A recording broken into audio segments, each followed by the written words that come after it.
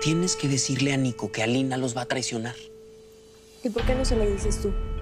¿Por qué no? Porque a mí no me va a creer. Piensa que se lo digo por despecho porque estoy obsesionado con Alina. A mí me parece que sí estás obsesionado con ella. No te voy a mentir. Estaba loco por ella.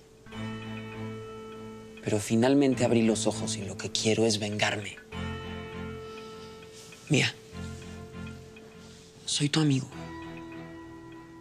Te dije que iba a ayudarte y es lo que estoy haciendo, pero necesito que hagas tu parte. Además, Alina puede quitarte a Nico. Hazle entender que ella miente. ¿Lo harás?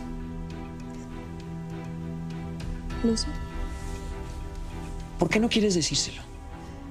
porque todo cambió. Todo. ¿Qué cambió? Santiago está preso. El arma que mató a Carolina es de él. Y no voy a permitir que él salga. ¿Eso qué tiene que ver? Que él debe de pagar. Él debe de pagar todo el daño que hizo y lo que le hizo a mi papá. Que él lo sepa no va a cambiar la condena de su padre. Tienes que decírselo, Mía.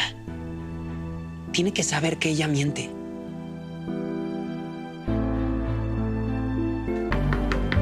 Ya voy.